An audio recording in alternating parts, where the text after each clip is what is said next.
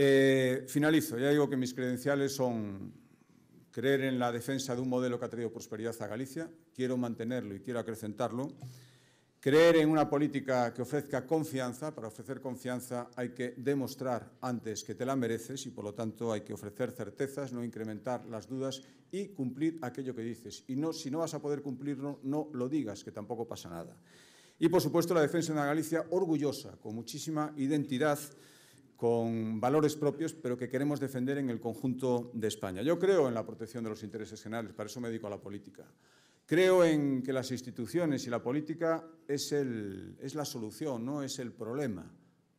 Algunos se empeñan y no se bajan de hacer política, pero se empeñan en que se crean todos que la política es un problema para poder hacer la política que les dé la gana. No, no, yo creo que, que hacer una política abierta y que solucione problemas y que la gente nos vea como tal.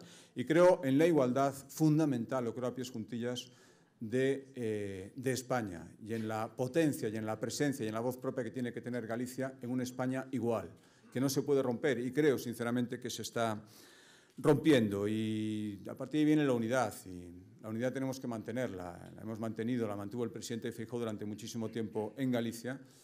Yo aspiro a seguir manteniéndolo, es un objetivo fundamental y si estamos unidos en Galicia contribuiremos en gran parte a la unidad de España. Yo por eso voy a pedir la confianza del día 18 de febrero a, a todos los gallegos. Sé que el objetivo vuelve a ser muy complicado, solo nos vale un resultado que es una mayoría que nos permita impedir que cinco, seis partidos de izquierda, los que sea, se conviertan en una sucursal de Moncloa, en una sucursal de sitios que están todavía más lejos y a los que Galicia les interesa muy poco. Muchísimas